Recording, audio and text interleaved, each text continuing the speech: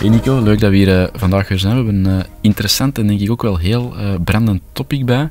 Namelijk het gegeven van, um, je weet, sinds 2018 is de GDPR-wetgeving invoegen. En sindsdien zijn er heel wat um, ja, targetingmogelijkheden, opties die verdwijnen. Um, komt nog een heel grote golf van eind 2023, wanneer dat de third-party cookies verdwijnen. En dat gaat toch gewoon een impact hebben op hoe dat we marketing kunnen doen. Dus ja. daar hebben we vandaag, uh, gaan we even over uitweiden. Misschien om heel deftig de intro en de context mee te krijgen, uh, dat je eens even kunt inzoomen op third party, uh, second party en first party cookies. Wat houdt dat nu juist in en wat kunnen we daarmee doen of niet meer mee doen binnenkort? Ja, misschien wel goed om daaruit te starten, want dat zal nog niet voor iedereen uh, zo duidelijk zijn. -hmm. Eigenlijk is het heel eenvoudig. Hè. Um, first party cookies, dat zijn eigenlijk de, de, de gegevens die je verzamelt vanuit je eigen sources, hè, dus vanuit uw eigen informatiebronnen, bijvoorbeeld de website of uh, alles wat je in het CRM uh, verzamelt, eigen verzamelde data. Second party is data die je van anderen inkoopt, of die je van anderen gewoon één op één verkrijgt. Dus data die een, derde, een tweede partij ehm, zelf heeft ontwikkeld en die wij integraal overnemen, inkopen. En third party is eigenlijk een combinatie, een combinatie van verschillende bronnen die informatie bij elkaar brengen om daar dan mee aan de slag te gaan. En dat is denk ik de meest gekende, um, want dat is vaak de data die wordt gebruikt om remarketingcampagnes te doen. En dan denk ik over bijvoorbeeld uh, een Facebook of een Google die zegt van we hebben eigen gebruikersdata van onze profielen en we combineren dat met de data van de pixels die op de website staan van de adverteerders. Hè. En die data wordt allemaal samengebracht en op basis van dat gedrag dat er dan gebeurt, kunnen er campagnes gelanceerd worden naar bepaalde doelgroepen. Dus dat is eigenlijk data die vanuit verschillende bronnen wordt samengebracht en die dan als adverteerder vaak ter beschikking wordt gesteld om te gebruiken. Als advertentieproduct eigenlijk. Als advertentie. En dat is eigenlijk hetgeen dat, dat gaat verdwijnen. Um, en er zijn natuurlijk wel wat, de, wat de bezwaren voor in de markt, of in ieder geval toch wel wat de zenuwachtigheid van oei, we gaan geen remarketing niet meer kunnen doen, of we gaan toch niet meer degelijk uh, op basis van echte interesseprofielen kunnen, kunnen kunnen targeten. Wat nu? Hoe gaan we ermee, hoe gaan we ermee aan de slag gaan? En dat is eigenlijk de vraag die we daar hebben. En um, ja, die, heel dat remarketing gegeven, super interessant. Um, ja, ik ben veel bezig met paid, dus ik weet, uh, als je daar de, de, de, juiste snelheden kunt vinden en binnen remarketing de juiste boodschap of de juiste vervolgstap, dan kan dat inderdaad iets heel succesvol zijn. Um, ik weet van veel andere organisaties of agencies dat ze er ook uh, mee bezig zijn. Um, dus dat is wel iets dat een wezenlijk onderdeel is van veel uh, paid marketingstrategieën. Ja, helemaal. Um, er wordt heel sterk op geleund, soms ook uh, uh, tot op het absurde af of het, het, het, het niet-efficiënte af. Want gewoon een website bezoeken om dan tot in oneindige remarketing advertenties te krijgen, dat is niet relevant. het wordt vaak op die een hoop gegooid of gezegd van ja, dat is remarketing. Nu, maar je kunt er effectief heel, heel coole dingen mee doen. Um, dus dat die mogelijkheden verdwijnen, ja, daar zien we een beetje paniek uh, ontstaan. Ja, ja, dat is waar. En dat zal, ik denk dat we ervan moeten uitgaan dat dat volledig verdwijnt. Hè. Um, en ik denk dat we ons gedrag moeten aanpassen en gewoon ja. de manier waarop we als marketeer mee omgaan, zo substantieel moeten gaan aanpassen. Um, ik denk dat we er straks ook, we kunnen er een paar inzichten rond delen van hoe dat wij daar mee om gaan gaan, of in ieder geval toch uh, pistes die wij nu aan het bekijken zijn, om dat op een kwalitatieve manier te gaan opvangen. Um, nu, misschien op zich, uh, je, gaat er niet meer mee kunnen verder gaan. Dus je gaat een switch moeten maken. Er zijn verschillende alternatieven. Hè. Misschien moeten we dat toch wel eens een keer aanhalen, want ik vind dat toch wel een lijken om genoeg op in te zoomen. Um, één, Google zelf kon, is uh, momenteel met een alternatief bezig. We kunnen daar even kort bij blijven stilstaan. Ze zijn met een soort, uh, wat dat zijn noemen, is nog vrij het moment dat we die vandaag niet opnemen, is nog vrij uh, onduidelijk hoe dat het er exact zal uitzien. Ik denk eind dit jaar gaat dat concreter zijn. Ja, ik denk het wel. Eind 2022. Ja, zoiets denk ik. Uh, en wat dat zijn noemen topics. Uh, het, gaat er, het komt er eigenlijk op neer, mensen die vandaag een Chrome-browser gebruiken, daar wordt nog altijd wel de data verzameld. En eigenlijk gaan ze, ik denk dat dat de laatste informatie is die we hebben gekregen of hebben gezien, is, ze gaan de data van de afgelopen zeven dagen als gebruiker bijhouden. Dus ze weten van mij, afgelopen zeven dagen, waar was ik naar op zoek? En wat uh, heeft mijn interesse getrokken? En het is die data die je dan kunt aanspreken als adverteerder. Dus je gaat ergens toch wel een soort, uh, op basis van um, de mate waarin ze in market zijn voor bepaalde uh, topics of bepaalde diensten, ja. op een korte tijdspanne, zouden nog wel via Google Topics kunnen aanspreken. Um, dus een soort ja, anonieme dataset die wordt samengebracht van ongeveer een zevental dagen en die dan daarna wordt verwijderd. Dus uh, dat is een heel korte tijdspanne. Is dat interessant? dat kan interessant zijn, denk ik, om toch nog ergens op basis van de intentie bij een gebruiker ziet, om daarop in te haken. Uh, maar ik denk zeker niet dat dat strategisch gezien uh, de, grote, de grote oplossing gaat bieden. Dus dat is leuk, denk ik, aanvullend. Maar ik zou daar zeker in uw marketingstrategie niet op focussen, of toch niet alle, alle, alle focus op leggen vandaag. Nee, het leunt een beetje aan bij tactieken of targeting opties die dat er vandaag zijn. misschien nog het dichtste tegen in-market dat ergens zit. Dus het gegeven van we gaan voor een, een, bepaalde periode kijken wie dat er actief naar specifieke oplossingen op zoek is. En die worden ergens in een geaggregeerde doelgroep um, verzameld, zodat je die zou kunnen targeten. Maar het lijkt me nog allemaal iets korter en uh, iets uh, korter te zijn, de, de, de, de timeframe, die, die zeven dagen. Mm. En vandaag, allee, ik heb er geen zicht op en we gaan er heel weinig vat op hebben, denk ik. vat op hebben ook, op hoe um, uh, concreet dat die zoekopdrachten of die topics Klopt. gaan zijn. kan eens heel breed um, Dus wat Nico zegt is effectief zo, al uw eieren in die mand gaan leggen, puur omdat topics wordt aangeboden, ja, dat zal het niet zijn. Een interessant extra iets om mee te gaan testen, mm. uh, maar dat gaat zeker niet de, de, de grote redding bieden. Uh, dat, dat, vermoed ik toch niet. Nee, en, en ongetwijfeld zal, zal Facebook, want die zijn ook nu al hun targeting opties aan het, aan het inperken, in bepaalde sectoren is dat toch al wel zeer beperkt. Ja. Um, dus ook daar zal die beweging komen, en alles ook in teken van GDPR. En op zich hoeft dat niet slecht te zijn. Maar dat wil wel zeggen dat we natuurlijk naar alternatieven moeten gaan zoeken. Van hoe gaan we het wel, hè, hoe gaan we het dan wel aanpakken?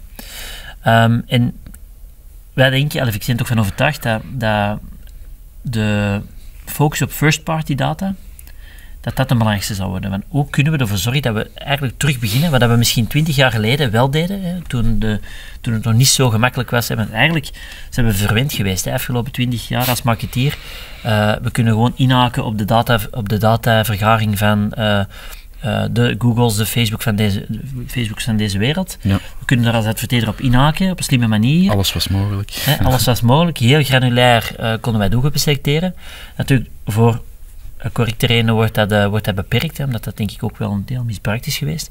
Maar dat gaat ons terug naar, een, naar, naar de evolutie, uh, of naar de tijdperk uh, terugbrengen, denk ik, waar dat we zelf data opbouwden. Hè. Denk, in de jaren 90 en daarvoor waren ze zelf bezig met CRM's op te bouwen, eigen data op te bouwen, om op basis daarvan campagnes te gaan doen. Ik denk dat we die mindset terug moeten gaan opzetten, van hoe kunnen we, hoe gaat ons eigen, dus met andere eigen CRM gaan nog meer aan belang winnen. Uh, heel veel dingen die we gaan doen, die moeten eigenlijk uh, in functie zijn van, oké, hoe kunnen we daardoor meer leren over onze doelgroep, of over de mensen die we gaan willen gaan bereiken. Denk ik een uitdaging voor velen.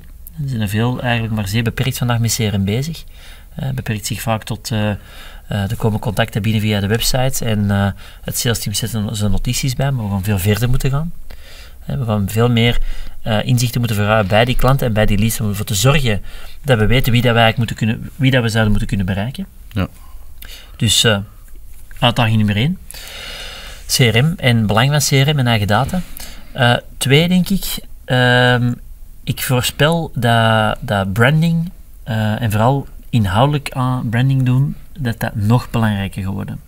Want eigenlijk gaat dat minder, minder accuraat kunnen inpikken op met je campagnes, op de mensen die nu de intentie hebben om X, Y of Z te kopen, of die nu uh, X, Y of Z willen veranderen in hun bedrijf, en die beginnen Google enzovoort. We gaan daar minder op kunnen inzoomen. Dus we gaan ervoor moeten zorgen dat we bij die mensen waar wij graag voor zouden willen werken, uh, top of mind blijven, of top of mind zijn. Hè. Dat als ze in die overwegingsfase komen, dat we misschien niet meer zo haar fijn kunnen gaan definiëren, dat wij wel een van de spelers zijn die bij hen uh, ja, laten we zeggen, top of mind zitten. Hè. En die zeggen van, oké, ik, volg uh, de mensen van Webstick al een tijdje en we zitten bij een bepaald probleem en we zouden iets willen voorleggen. Ja, dat effect, en dat is deeltje branding, uiteraard, uh, brand awareness in het algemeen, dat gaat toch denk ik meer aan belang uh, winnen, omdat we niet meer zo ver kunnen, in de funnel kunnen inpikken. Ja, ik denk dat je er inderdaad, en dat tweede stukje dat je er aanhaalt, op een inhoudelijke manier aanwezig zijn, dat je dat op twee manieren kunt doorvertalen. Uh, het, eerste eh, punt zal zijn dat we denk ik een klein beetje um, in marketing misschien zo back to basics moeten. Eigenlijk alle principes eh, waar dat wij voor staan, die dat we uitdragen, dat is zeker niet nieuw of super vernieuwend. Dat is eigenlijk de basis van wat dat goede marketing zou moeten zijn. Dus uh, ten volle informeren richting mensen die u vandaag misschien niet kennen of heel beperkt zich van u bewust zijn, om die dan te laten bewegen of doorstromen op termijn naar het, worden van, het mogelijkst worden van klant. Dus ik denk dat alle principes dat je in vorige podcast hebt gehoord en, in, in afleveringen die nog gaan komen, ja, dat die super belangrijk gaan zijn. Terdege uw klant kennen. Ehm, kwalitatief, kwantitatief, er de juiste messaging uh, op afvuren, heel de ervaring op uw website of in heel uw communicatielijn, heel uw customer journey daar goed op afstemmen. Ik denk dat dat terug met stip op één op de agenda moet. En dan het tweede, dat is een klein beetje een doorvertaling van of een opportuniteit. Wat dat je nog wel heel relevant kunt doen, is als je diep inhoudelijke informatie brengt, bijvoorbeeld in videovorm, wat heel gemakkelijk massaal kan worden geconsumeerd. Er zijn nog wel heel wat kansen om op basis van bijvoorbeeld videoviews, en dat is een tactische tip, dat, weet ik, maar op basis van videoviews mensen te gaan capteren of ergens in een groep te gaan verzamelen om daar dan vervolgacties aan te koppelen. Uh, en dit is geen pleidooi om dan te zeggen, ja, we gaan video pushen om, um, om in uitgesteld relais meteen een commerciële actie te vragen. Uh, maar heel dat gegeven, waar dat video zich perfect toe leent, het inhoudelijke, daar zijn nog wel remarketingkansen. Um, dat zal zeker ook niet tot in het oneindige blijven, maar dat is iets dat zeker de komende jaren hmm. niet gaat worden uh, dichtgeschroefd. Um, dus op een inhoudelijke manier met video in de feeds aanwezig zijn, um, hyperrelevant en, en zien dat zoveel mogelijk ten x is, of dat jij de meest relevante bent met je antwoord of met je informatie, dan zijn er nog wel video remarketing opportuniteiten. Dus ik denk dat die twee ook misschien ergens hand in hand gaan. Het is misschien niet uh, eh, 1 en 2, maar ik denk 1A en 1B. Uh, eh, dus meer focus op het inhoudelijke, uh, het informeren en het op 80% ready to buy krijgen. En dan denk ik dat ja, initiatieven zoals video daar uitermate voor geschikt zijn. Dus ik denk, als je daar nog niet mee bezig bent, moet je eens rustig beginnen kijken. Ja, kan dat ergens in onze, op, op onze roadmap passen? Uh, past dat ergens in ons verhaal, in ons marketingplan? Uh, want dan zou ik daar effectief vol de kaart van beginnen trekken. Naast natuurlijk wat jij zei, het opbouwen van je eigen database. Dat zou al jaren op de agenda moeten staan. Het is zeker niet te laat om daar vandaag nog niet te begin, mee te beginnen als je daar nog niet op een mature manier mee zou bezig zijn.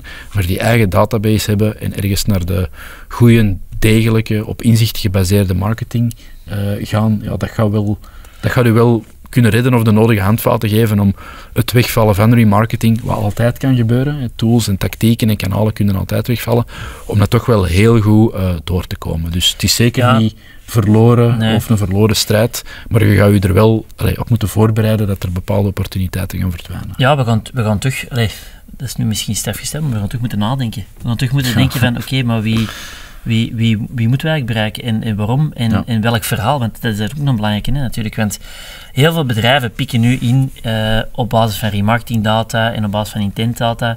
Um, proberen zij campagnes te lanceren. Maar eigenlijk nu moeten we gaan, gaan nadenken van, maar wacht, wat is ons verhaal, ons lange termijn verhaal dat wij willen brengen? Wat is onze point of view dat we willen brengen in de markt? Dat onderscheidt is tegenover onze spelers vandaag. En hoe kunnen we dat consistent brengen? Hè? Die oefening, ja die gaat die gaan, die gaat elk, ga elk bedrijf terug moeten doorgaan. Hè. Als hun campagnes op een andere manier... Je hebt het een tijd heel gemakkelijk in de ijskast kunnen steken, omdat, we hebben ooit eens gezegd, de, de 2% actieve zoekers, uh, die daar heel dicht bij de conversie staan, ja, dat was een tijd zo gemakkelijk af te vangen uh, met tactieken en met targetings. Maar ja, als dat natuurlijk verwaterd of moeilijker gaat worden, of uh, als je daar een klein beetje gehandboeid wordt in de mogelijkheden, ja, dan ga je automatisch terug en eigenlijk is dat niet slecht, nee. want daar is vandaag te weinig aandacht voor, denk ik, uh, voor dat stuk. Dus we gaan er eerst gedwongen worden om keuzes te maken mm. die dat we eigenlijk, als we heel eerlijk zijn, al langer uh, moeten doen. Al langer moeten maken. Al langer moeten doen. En ook, we zien ook wel dat, de, bijvoorbeeld als ik dan in kan googlen, hè, search, uh, search ads enzovoort, we zien ook wel dat dat de concurrentie daar enorm hard stijgt hè, en blijft stijgen. Hè. Bijvoorbeeld als we zien waar klanten jaar op jaar betalen per klik, uh, voor de meeste klanten is dat allemaal nog heel behapbaar, maar dat je de komende 5 à 10 jaar alleen nog maar verder doorstijgen. En, de, en de manier waarop je daar kunt op uitspringen, wordt vrij, is vrij beperkt. Hè.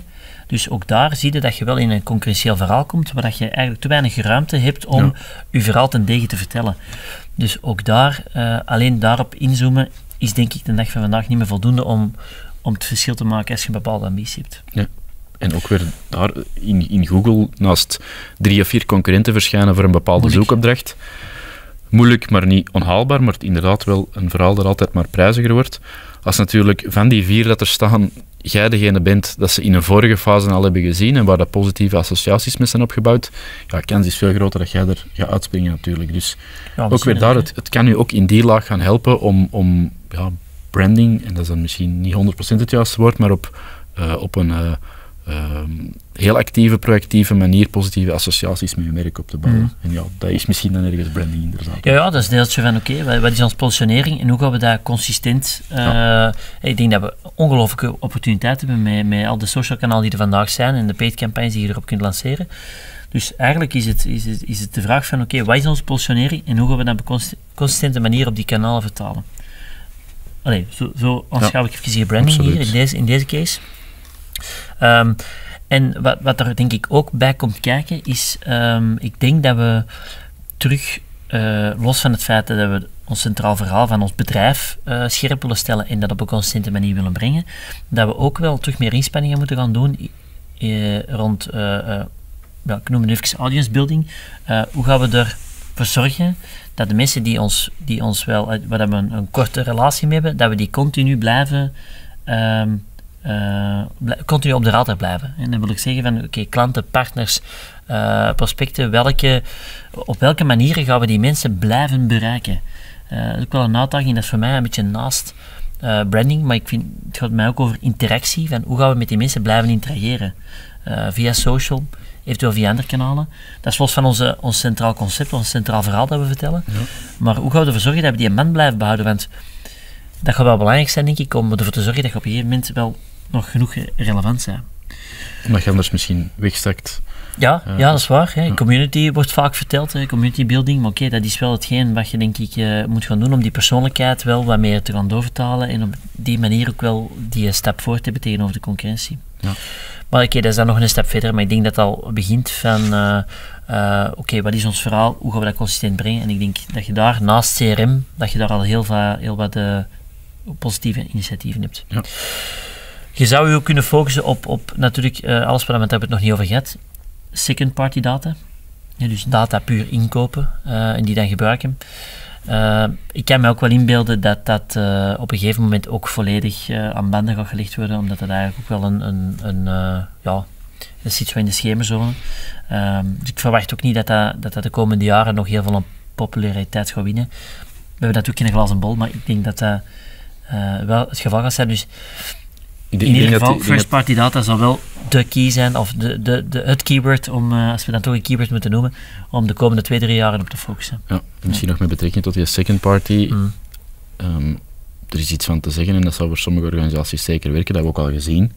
Ehm, maar in heel veel gevallen zien we ook dat zo'n gekochte lijst eh, heel veel problemen geeft in uw, eh, in uw e-mailsysteem dat je gebruikt. Dus dat dat ook niet altijd de meest kwalitatieve data is, los van het feit dat dat zowel wordt verkocht, dat dat kwalitatieve contacten zijn.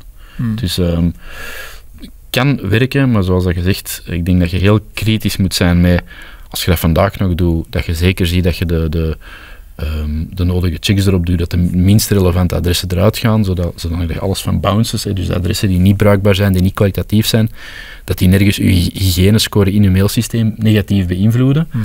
Eh, en dan ergens toch eens kritisch de vraag stellen, ja, als we nu nog erop rekenen op vaste basis van e-maillijsten te kopen, ja, hoe duurzaam zijn we dan bezig vandaag? Want dat gaat er effectief ook uit. Hè. Mhm. Ehm, Ja, en, en eh, aanvullend, hè, want je zegt, ja, je koopt lijsten, correct, er, eigenlijk, er, er- en dan weet je niet, je, je- als je die lijst koopt, je weet niet wie is die persoon, wat ligt die van wakker en is dat eigenlijk wel iets ons. Ja.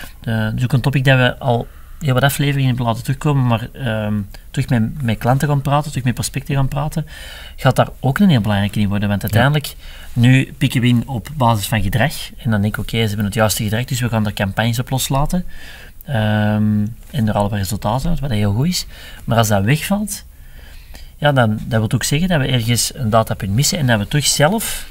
Ja. En ik vind dat op zich een heel goede, ik vind dat op zich een heel goede, een heel goede beweging, want we gaan terug leren, allee, of meer leren, om terug met klanten te praten, goed te begrijpen wat zij belangrijk vinden en dat te gaan vertalen naar een marketingstrategie. mhm. En, eh, maar dat is ook iets, denk ik, wat heel wat marketeers nu terug eh, moeten oppikken, omdat ze dat heel lang niet hebben moeten doen, omdat het eigenlijk vrij gemakkelijk was door de platformen die er vandaag ter beschikking zijn, om in te haken op ja, momenten dat het relevant is.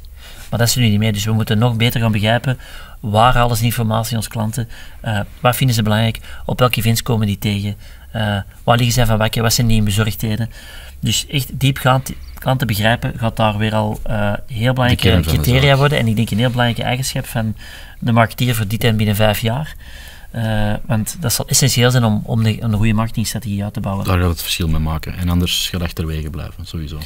Ja, maar dan gaat het zeer generalistisch te, te werk gaan. Zeker omdat je iets breder moet gaan targeten. Uh, tenzij dat je heel veel eigen first-party data hebt opgebouwd. Maar de meeste bedrijven, vanuit mijn ervaring, zijn er zelfs vandaag nog niet mee bezig. Uh, nee. zelfs grote bedrijven zijn daar vandaag nog... Ik had onlangs een, een event meegevolgd in Barcelona voor marketeers marketingmanagers, CMO's enzovoort. En er was geen één topic dat draaide rond first party data. Dus dat, dat doet mij al, allee, dat ja. bevestigt eigenlijk, denk ik, uh, de mate waarin dat men nog niet beseft, denk ik, hoeveel opties er gaan verwijderen, hoeveel opties er gaan wegvallen tegen het einde van het jaar of begin volgend jaar, waar ze nu wel heel hard op terugleunen, of op terugvallen. Dus uh, toch wel een belangrijke om even over na te denken.